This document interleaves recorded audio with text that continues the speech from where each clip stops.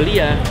Jadi biarkan mereka melihat traktor kita, melihat eskavator kita, melihat uh, skylift, pemadam, kendaraan uh, motor-motor dishub. Jadi saya ingin fasilitas-fasilitas kerja Pemprov menjadi bahan belajar bagi anak-anak yang menyenangkan karena ini unik. Kita-kita saja belum tentu uh, pernah melihat dashboardnya eskavator, uh, cara bekerjanya dan lain-lain. Nah, saya minta mereka dipasang di sana.